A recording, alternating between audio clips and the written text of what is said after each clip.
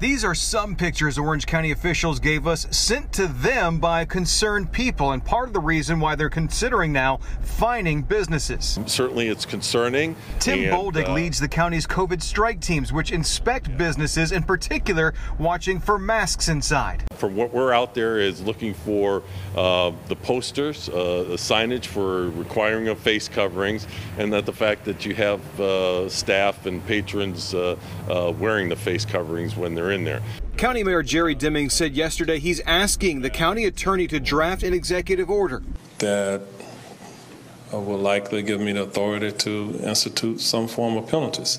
You might wonder how they can do that since the governor suspended COVID related fines, but that executive order specifically mentioned penalties on individuals. We still do have the ability to enact some penalties directly on businesses. Recently, two clubs are getting the most attention Gilt on Bennett Road and Fuego on South OBT. Authorities say they've seen videos showing large maskless crowds inside.